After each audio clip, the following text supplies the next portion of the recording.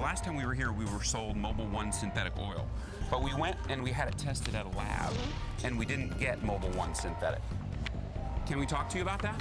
We put oil change shops across Central Texas to the test and found you are not always getting what you pay for. Our hidden camera investigation last month revealed some shops making a secret switch and overcharging you for the oil they're putting in your car. Now our Brian Collister goes undercover again and finds those shops making big changes since our story first aired. Uh, well, so it's 9123, sir. That was the main game. Sell, sell, sell. Rashad Luster says managers at this True Balance Express in Round Rock pushed him and other mechanics to sell high dollar synthetic oil. But he says something didn't seem right with the oil they put into customers' cars. My suspicion was when one of my upper ups kept telling me he wouldn't put that in his car. And I was like, well, why wouldn't he put that in his car, but we're putting it in everybody else's? Luster says managers told him it was a blend, part synthetic, part regular oil. How can you put the same cheap oil in a synthetic engine and it run the same? And then that's how I figured it out. And then when I saw the test on TV, I was like, oh yeah.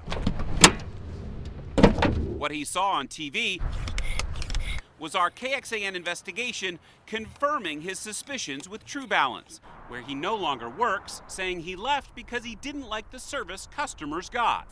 It's a ripoff. Another former employee says he quit his job after taking this picture, which he says shows a mechanic filling a jug labeled synthetic with cheaper conventional oil. Trying to tell them they're selling Don Perignon and they're handing them a Miller Lite with Don Perignon sticker on it. Hey man, hey, yo, I'll change real quick. We went undercover at all four of this chain's locations and sent the samples to Alcor Petrolab.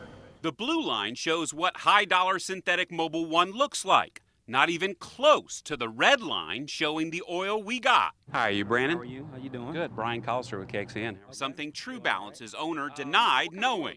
In each and every case where a customer asks for synthetic and you give them the cheap oil, you pocket a lot of profit.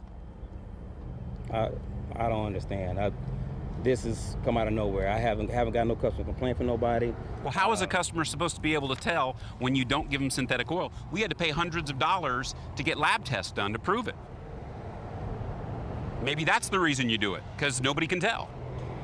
That's I, I don't I have no other comment. We recently went undercover again to True Balance in Round Rock and the chain's West Slaughter location. Now things are very different.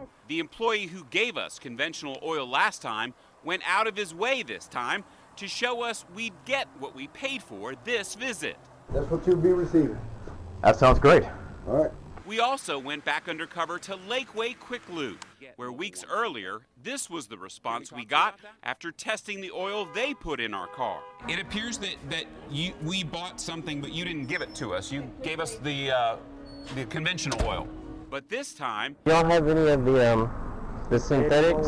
Yeah. Mobil one? Yes. Lakeway Quick Lube explained the oil we'd be getting before putting it in. We only use bottled synthetic oil here, so there isn't uh, more of an upcharge than maybe down in Austin B. It's uh, 89, I believe, for your car.